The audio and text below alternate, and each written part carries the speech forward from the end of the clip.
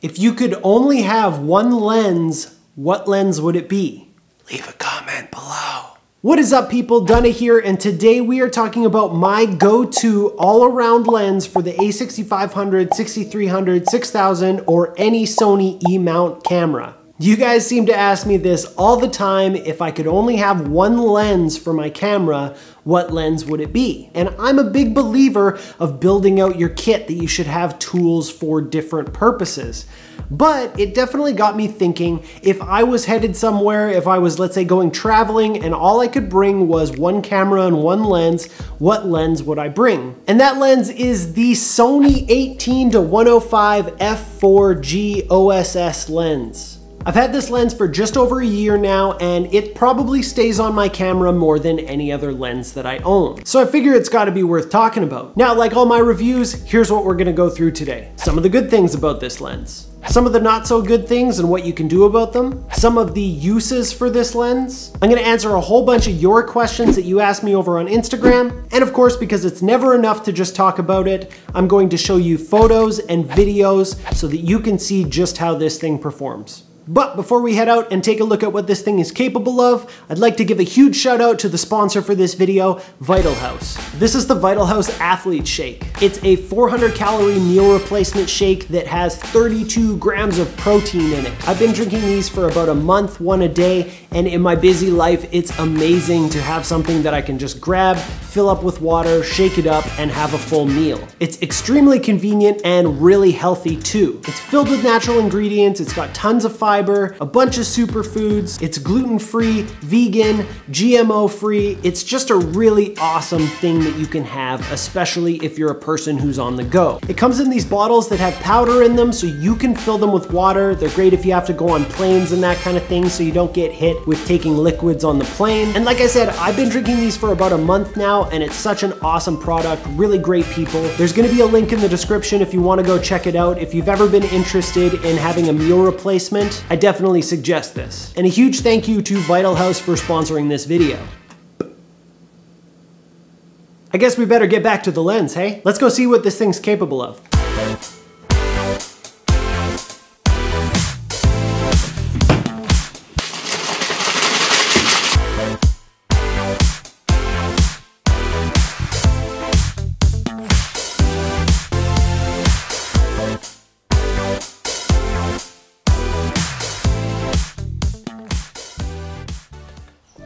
So first thing we need to talk about is the focal length of this lens. The 18 to 105 focal length gives you quite a broad range and makes this a very versatile lens. The full frame equivalent to that is 27 to about 152. So it's got a pretty standard kind of wide end as well as a decent telephoto end. Not super long, but you know, long enough for most cases. At Jawahir Al Husani, I'm totally sorry if I'm saying that terrible, over on Instagram asked what kind of shots is it ideal to get? And because of that focal range from 18 all the way up to 105, it could be used for a whole bunch of things. On the wider end, you could do landscape and architecture photography. In the mid-range, somewhere in that 50 to 85, you could take some awesome portraits. And on the long end, if you're doing events and that kind of thing, this will give you the ability to stand back from your subject and kind of be out of the way. Whenever you're talking about zoom lenses like this, especially this one that has such such a wide range, you're gonna also get a wide range of ability as far as what you can shoot with it. Another thing that I really love this lens for is vlogging. Because of that 18 millimeter wide end, when you're holding it at the end of a Joby GorillaPod or whatever you vlog with, it's gonna give you a good surrounding of what's going on as well as being able to get yourself right in the middle of the frame. And as far as that 105 long end, if you're using clear image zoom, so if you're shooting JPEGs or video, it's also really cool because you actually get a two times crop on that as well with very little loss in quality turning this from an 18 to 105 into a 18 to 210. That's a pretty wide range. Now Locust Draheim, Drahim, something like that, I'm terrible with these names, asked, would you rather have a zoom lens that covers the whole range? Or would you rather have a bunch of primes that do the same thing if money was no object? Hello. Hi. Hello.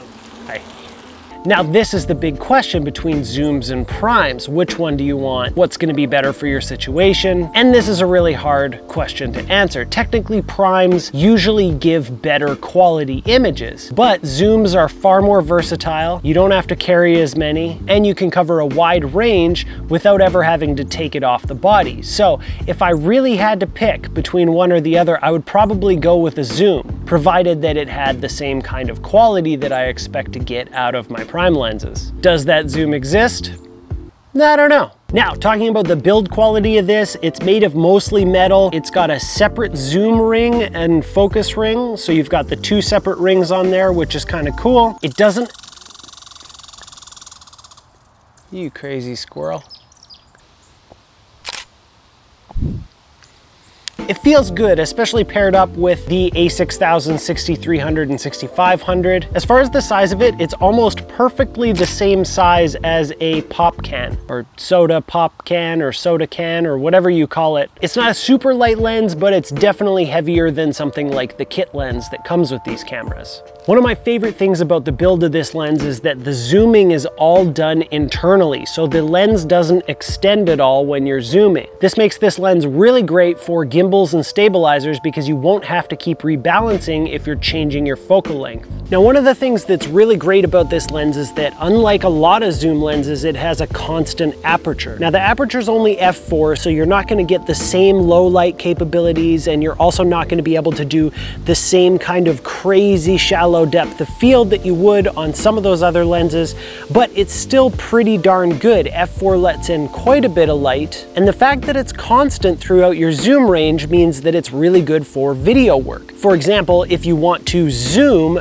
during a shot, you don't want it to be changing apertures as you zoom because it's gonna change how much light is coming into the lens, and it's also gonna be changing your depth of field. I found in most situations F4 let in enough light especially with the new sensor technology that allows you to bump up the ISO with very little noise involved. Now, at That Adams asked on Instagram what the best settings are for street photography at night with this lens. Again, that comes back to that f4 aperture. It's a little tough to get low light shots and not introduce a whole bunch of grain. Keep it on that aperture of f4 to let in as much light as possible.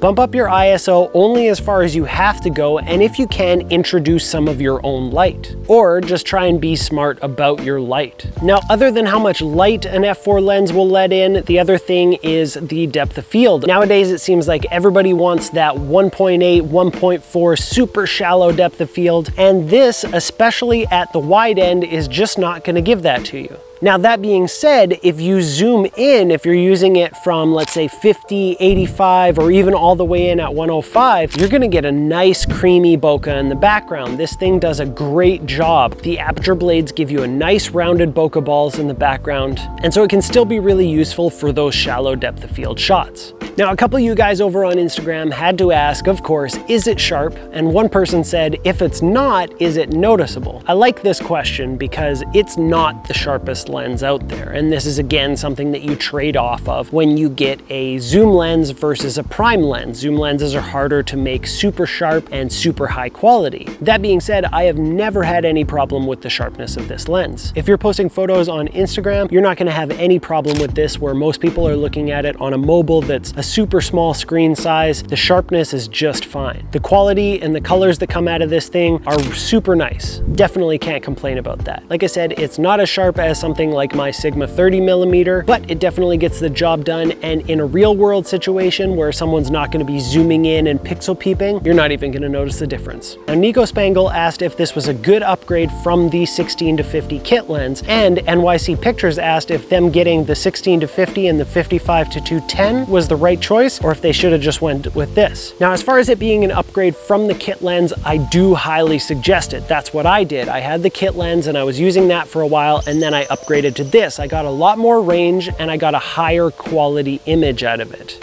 Not to mention, like I said before, that constant f4 aperture is awesome, whereas the kit lens is a 3.5 to 6.3, I think. So if you're using it for video, as you zoom in, you're gonna have that problem of the light going down. Now, as far as getting those two kit lenses, the 16 to 50 and the 55 to 210 versus getting this, there is something there as far as having the 55 to 210. Sometimes I do catch myself missing the extra range of having all the way up to 200. There is an 18 to 200 out there, but again, it's that 3.5 to 6.3 aperture that I wasn't into. I really wanted something with a constant aperture considering how much video work I do. Now, that being said, I don't know if you made the right choice or the wrong choice necessarily. It's good to have all of your ranges covered for any situation that you might be in, and those lenses are going to do a fine job of that. This is a bit more expensive than those, and so maybe that was just something that you can do to tide you over until you can afford something more like this.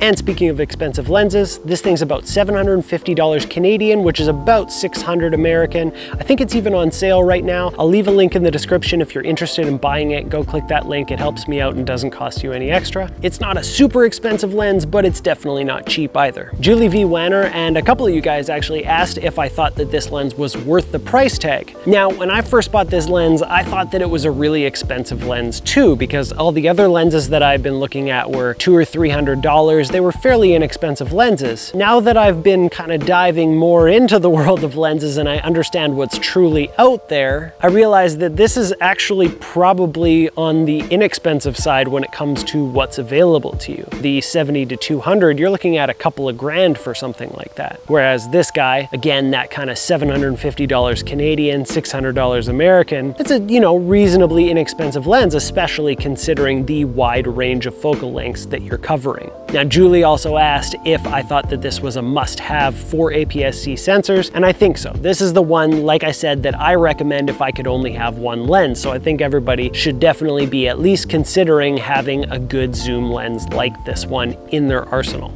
Now, one of the cool things about this lens as well is that it's got optical steady shot built into it. So inside the lens, it's going to be stabilizing your footage. Or if you're someone who shoots photos, it's going to allow you to slow down your shutter speed without getting the hand jitters in there. You'll be able to get crispier looking shots and not blur out your photos because your hands are moving. It also makes this a great lens for vlogging, like I mentioned before, because you can hold it at the end of a Joby GorillaPod and point it at yourself and while you're walking and those kinds of things, especially for those people who are on the 6300, 6000, 5100, and 5000, the cameras that don't have the in-body built-in stabilization. So then the question comes, what can you use this lens for? It's something that I always end my lens reviews with. Now this lens in particular being a zoom lens and being a zoom lens with such a wide range, there are so many things that you can use this for. But what I highly suggest it for and what I use it for is less of a specific photography or videography style and more of a situational thing. Anytime that I'm going out and I need to shoot, but I don't know exactly what kind of situation I'm getting into. For example, if my wife and I are going out and I think I might want to get some shots, but I'm not quite sure what the situation is as far as like where I'll be shooting or how long of a lens I'm going to need, I throw this on the camera and it covers me most of the time. Or if I'm shooting an event or something where I need to be quick on my feet to get the shot, and sometimes I might need a wide lens and sometimes I might need a telephoto lens, this is great because I have both of them right at my fingertips. So that's why I would say that if I had to pick any one lens lens to keep on my camera and that was the only lens I was allowed to have, I would say that the 18 to 105 would be my go-to. Again, I really wish that it had better than an f4 aperture, but again, that's gonna cost you an arm and a leg, and it would probably make the thing a whole lot bigger as well.